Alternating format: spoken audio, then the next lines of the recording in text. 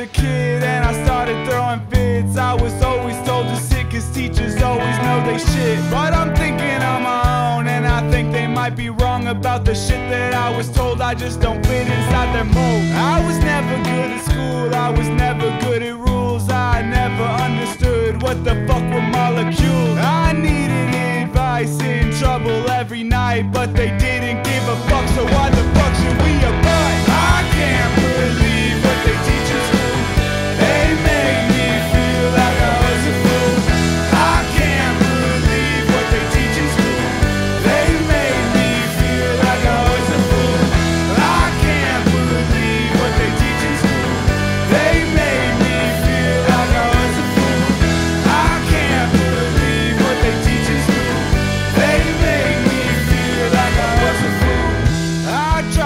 conform, I tried to be the norm But I knew that I was meant to record and perform. But they never understood and they never thought I could. All they saw and cared about were that my grades were never good. So my middle finger's up and I'm sticking to my gut. So teachers heads up because I'm preaching misconduct. I needed advice in trouble every night But they didn't give a fuck so